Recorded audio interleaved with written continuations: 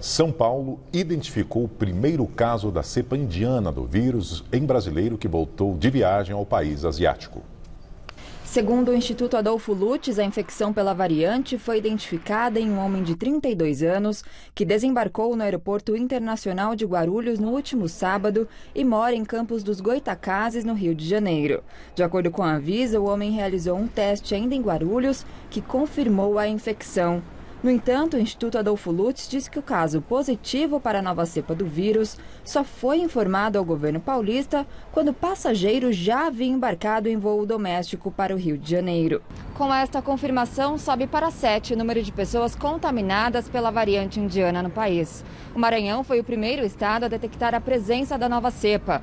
Na semana passada, a Secretaria da Saúde do Estado confirmou seis casos entre os 24 tripulantes de um navio vindo da Malásia. A embarcação, que está ancorada na costa do Maranhão, foi posta em quarentena. Hoje, o governo paulista afirmou que não há registros de casos de contaminação local da variante aqui no estado. E na tentativa de conter o avanço da variante indiana no país, o Ministério da Saúde anunciou a vacinação de trabalhadores de aeroportos e portos. Ao todo, 202 mil pessoas receberão as doses. Na capital paulista, as três rodoviárias estão com barreiras sanitárias. Estamos com 30 é, quartos de hotel reservado no hotel é, para poder levar essas pessoas que têm os sintomas e ficarem isoladas, fazer, fazerem a quarentena. A gente está muito atento. Também já estamos com 250 leitos de UTI prontos para entrar em funcionamento em uma semana, caso necessário for. Né? Ou seja, existe é, o risco de ter essa onda? Existe. É, e por conta disso a gente está muito preparado. Em Santos, o porto também está sob intensa fiscalização para barrar a entrada de novos casos no estado.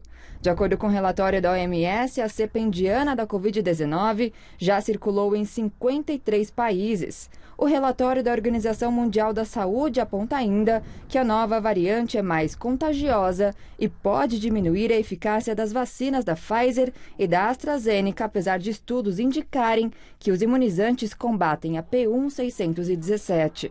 No entanto, a entidade informou que ainda não consegue indicar se a variante é responsável por quadros mais graves da Covid-19 e pelo aumento do risco de infecção. A entidade espera esclarecer estes e outros pontos nas próximas semanas.